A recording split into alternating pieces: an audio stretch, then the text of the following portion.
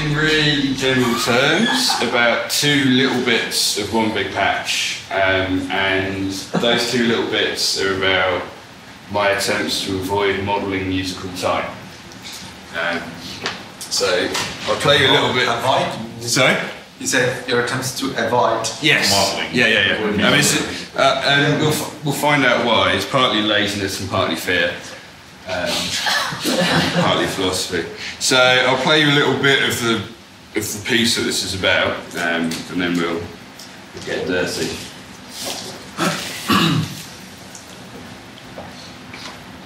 I'll turn my volume up.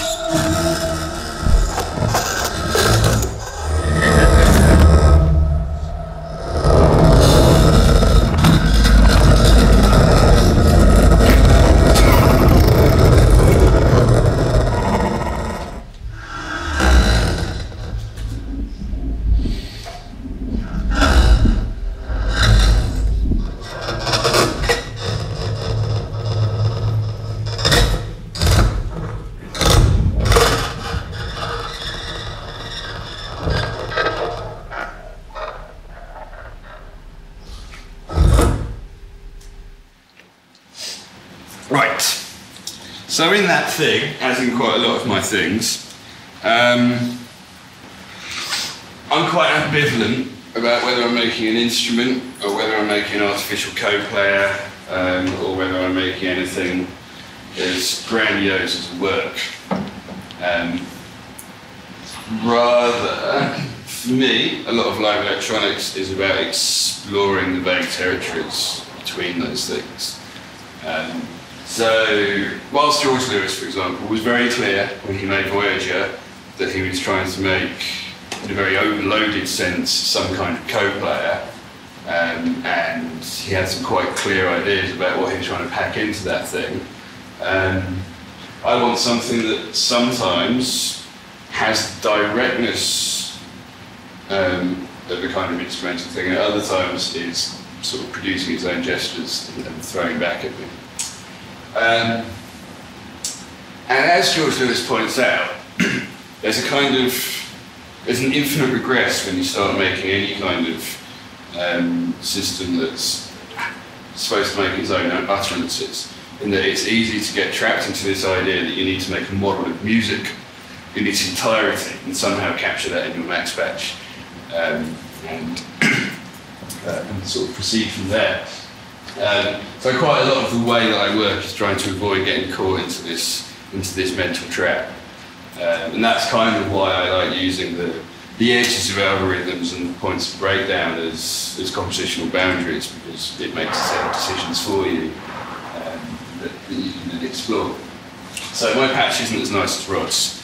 Sorry. It's quite nice. It's quite, oh yeah, it's sort of like, there's so many send and receives in there, which is a bad code smell to start with, that I sort of ended up having to use colour coding to, um, to find out what was going on. So there's only two little bits really that I'm think are interesting enough to share. A lot of this, a lot of this is actually the kind of bookkeeping that, um, that Alex was talking about. A lot of this is just to make sure that stupid stuff doesn't happen, um, or at least the wrong kind of stupid stuff. First thing I want to, maybe I should give an overview. All right, all right. Um, what I see when I'm playing isn't isn't this mess. I just see this mess, um, and the idea is that there should be so little to look at that I shouldn't need to look at it. Um, So you've got some nice brightly coloured buttons that let you know like whether it's on, that sort of thing. Um, and then these dots at the bottom, in principle the computer has three voices. Um, and in principle they should be sometimes um, working some kind of counterpoint with each other. And there's a sort of, there's a proto score. Um, one of the things I was interested for in this piece was starting to try and combine um, having some kind of pre-thought fragments as motifs with that kind of more in the moment um, processing. Um, and there's quite a lot of this patch, having watched all Daniel's ninja stuff Bach yesterday, thinking, ah, oh, I could make the patch about that big uh, using Bach, it would be great. But at the moment it's kind of cobbled together um, out of all kinds of bad things. So there's three jitter matrices um, which have movements in them. Um, and they load up um, around here. Um, they then spent spawn events um, as you're uh, going on. And it's the spawning that's um, all the rate at which things get spawned, which is the first thing I want to talk about. So I wanted um, this is in a previous piece I first used this trick. I wanted to have different clocks, but I didn't want to commit to having subdivisions of those clocks. I wanted them to be related. Um, I wanted them to be non-metrical in some way. I wanted them to move around. Um, and it's an interestingly large number there, isn't it? Um,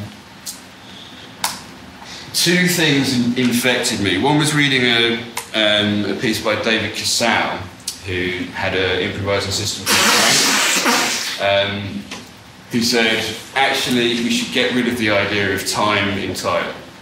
It's, it's an unmusical concept. Um, and started think, thinking about how he's going to build this improvising system without any explicit concept of time, which I thought was quite interesting.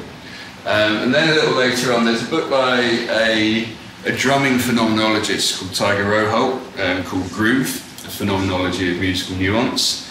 Um, and it's a really, really interesting book. Um, and in it, he takes quite strong issue with a lot of the research about musical groove.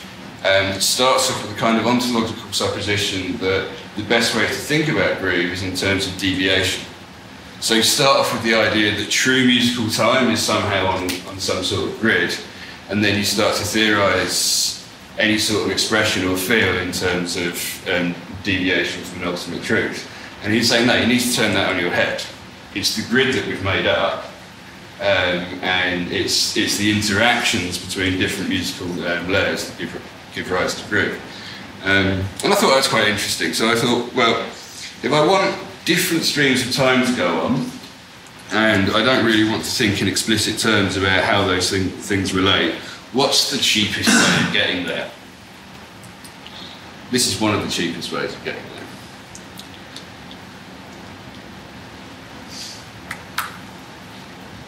So, some housekeeping. I might take this filter out, it seems un, un, unnecessarily playing itself. Um, the action is in this abstraction I've got called acg.gat.pulse follow.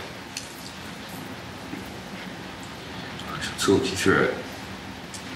The first thing I do, well, the, over, the overall story is that I decide that I can get away with thinking explicitly about the relations of, uh, relationships between these things by deciding that my my rhythmic groove is somewhere to be found in my audio signal um, if I downsample it by an absurd amount and then try and find periodicities um, within the downsampling effect.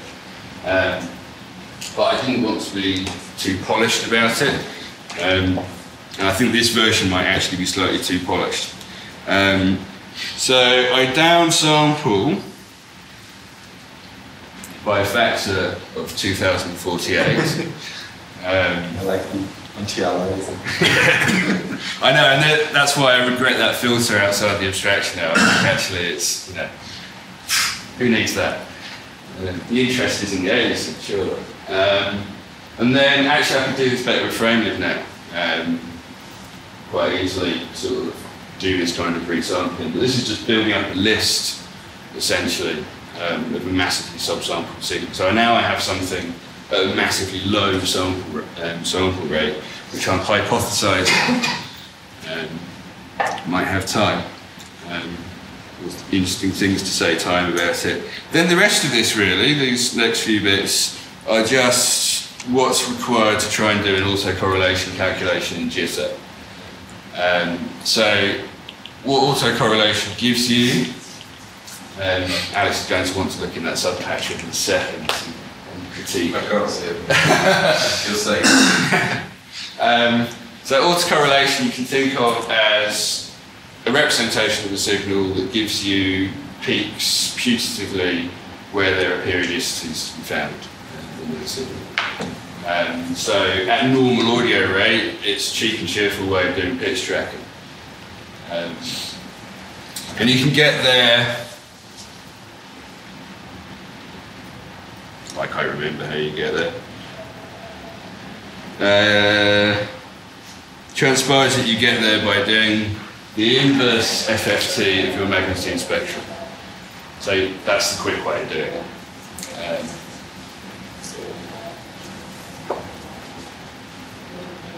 that's not really so interesting as what you end up with. Should actually come on.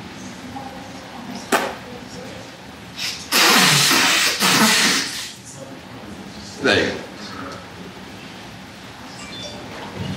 So actually, before I've done any tidying up, I end up with some nice bands. And each of these bands, I think this is kind of time axis moving, moving along horizontally. And these are peaks, um, that there might be some kind of periodicity there. And you can see it's quite noisy.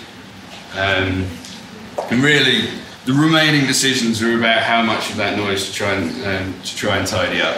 Um, the answer is probably not, not too much. What's, what's the input you're giving it at the moment? The input will be probably my laptop. Yeah, my laptop mic. Oh, is it? Yeah. Um, so now I've made it sad by slapping my laptop. Uh, laptop mic. It'll, it'll come back. There's a huge lag as it has to prepare 256 samples, down sample by two, 2048. Somebody else, somebody could work out how long that is, but um, it has to build up this buffer and then and, and, and then get going. So it's sl- slow to respond. So by the time you get out of this, these these are my clocks. So these are all um, different rates of metronome that I can then call on in different parts of the piece to say, okay, I want my, my quickest clock is that is that low one down there, it's jumping around. My slowest clock is that one um, jumping around at the top. Um, and I found in practice that um, it's like playing with a bad improviser, this thing, which is quite nice. Quite like playing with bad improvisers. Um, it's so, sometimes I have a kind of low, a low bar I set myself for these interactive pieces, which is better than random. Um, and this just about made it over, over the fence. It's better than random. It's definitely better than just slapping in a load of random objects attached to metros um, and doing that. And it's certainly more interesting, I found, than um, trying to pre-compose a bunch of subdivisions of, of clocks or something for a situation that I deliberately wanted to be underdetermined as I went on stage. Um, as I was saying on the first day, I quite like it if, if consequences arise due to the way that I'm playing. This is what one way that it happens. So it, it will utter, and it, but it won't utter in a com- completely predictable way. But it does feel like it's got a connection to it. Um, and I've made no attempt to justify that beyond the fact that it just seems to work. There's not, there's not a sound theoret- theoretical basis or engineering basis for doing this. Hello, Alex. Do you, do you feel the lag now that I've calculated what it is? Do you feel it? it's about 12 seconds. It's about 12 seconds. That's 11.9, yeah.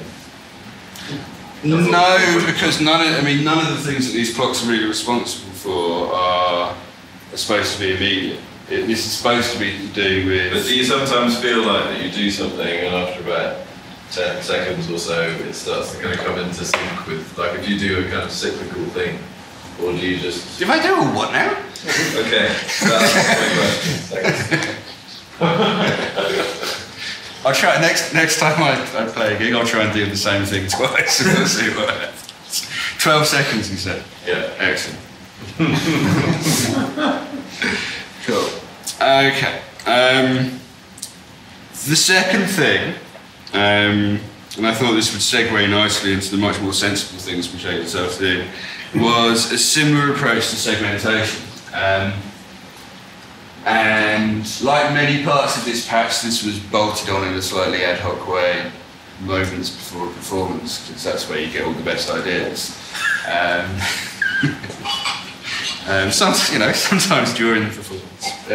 Um, the very first version of this, um, this patch, was trying to do two things at once because I had two colliding deadlines. I needed to make an installation piece and I needed to, um, to do a premiere. Um, and the installation was open on the same day as the premiere. So I thought, okay, I'll make, I'll make one kind of um, max framework and then I'll, I'll, I'll deal with the fallout. Um, and the installation piece was a very long form thing. It was running. It was running for a couple of months, and that was that was all about kind of consuming the sound of its environment and then sort of burping it back up um, every now and again. Um, and one of the things it needed to decide was how often to try and record something out of the environment and on, on what basis to do that. Um, and I felt for the first version of that, it wasn't very satisfactory. It was kind of there was a lot of hacking and sort of don't do it too often and sort of try and make some kind of fairly lo-fi judgment about what's interesting. Um, but then this idea of um, trying to capture a, an interestingness feature um, in the most in the most vague sense possible um, was quite interest, was quite in, in and of itself interesting. Um, how would you model that without getting overly committed um, to a set of ideas about what might happen, particularly in the installation context. Um, you don't know what's going to be passing through that space, and you don't really want to know what's going to be passing through that space. Um, so what I came up with for the second one was um, just a small abuse of, of neural networks, a, t- a tiny abuse. Um, and now I need to find it in the mess.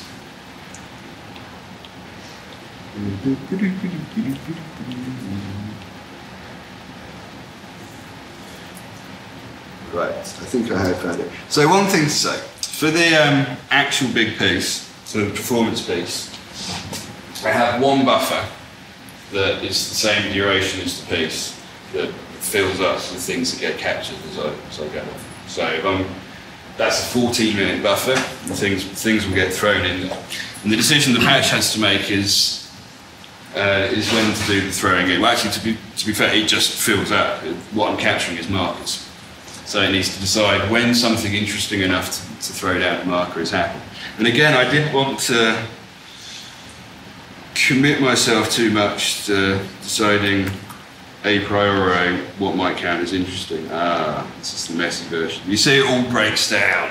the facade of neat colours and, and what have you just vanishes as soon as we see the bit I added before the gig. Right, this isn't as bad as it looks. I'll zoom in and then it won't be that bad at all. So the first thing that goes on, the magic is here in this object called fecho online. Um, and this um, houses something called an echo state network. Um, an echo state network is one of my favourite kinds of neural network because it's really, really grungy. Um, normally, with a neural network, you have a bunch of things that are all connected to each other, and you want certain outputs in response to a certain input. And a lot of the work is in arranging matters so that happens. So you train it.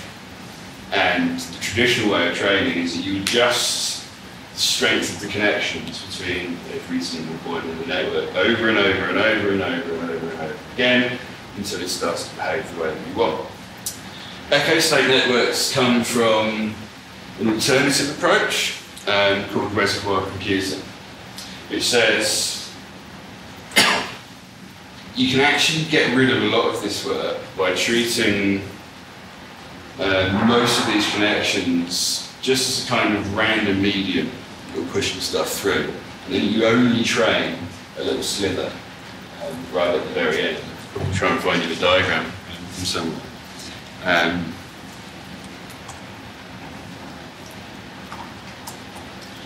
and the point of this is, this is what this, this is why it's called reservoir computing, uh, is that you treat um, most of um, the connections.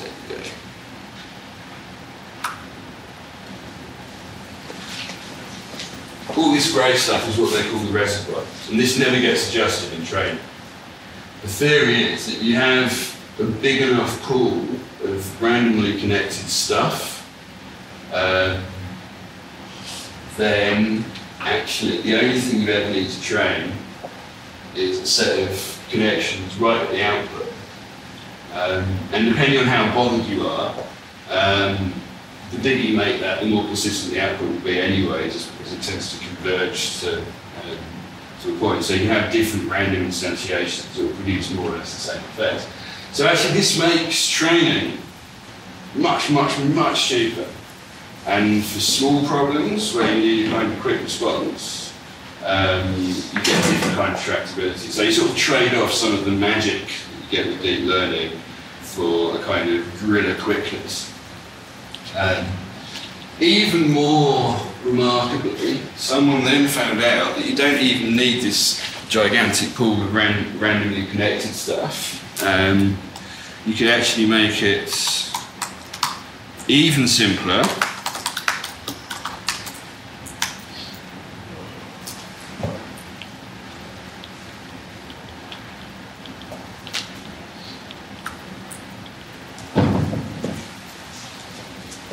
by having completely deterministic layout of neurons. So this is just basically a circle of things in feedback with each other. And they found out you could get almost as good results with that, and that actually gives you even less computation to do. So rather than having a gigantic mess of um, things that are arbitrarily connected, you have to kind of push all your data through each side. This is like basically just a delayed feedback network with some, with some many goodness. So it's only one layer. One there. Yeah. Um, and under certain conditions, because you've still got the recurrence, that's important, but you've still got the Yeah. feedback, it still has enough of a memory. So you still need to make it big enough that it's non-linear enough that it can start to capture um, things about um, things that are going on. Um, but with that cheapness um, comes the idea that actually I can run this at sample right now. And that's where the, the attractive thing um, for, for me was that I can just start throwing sample by sample by sample um, into this thing. Um, so taking some work already done by Chris Kiefer, he made a PD object to do the kind of vanilla um, echo state network a few years ago. Um, I ported it over to Max and then implemented this simpl- simplification um, where we've just got a kind of uh, a, a ring of these neurons in, in feedback with each other.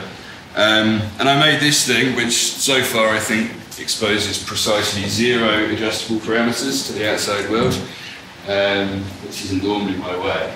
Um, and that basically attempts to be a one sample predictor of its, of its input signal. And so you just you throw anything in there and it just tries to guess what the next sample is. Not, not very sophisticated. Um, and then here, basically, because I've um, standardized my output data, so I've adjusted it by its median standard deviation, um, I'm saying any time, oh, I should say, the output of this thing is its error.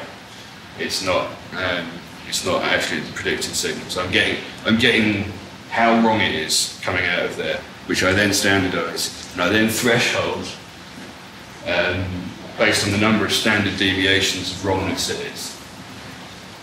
So if it's six standard deviations wrong, I've decided that is my concept of interesting at this time scale.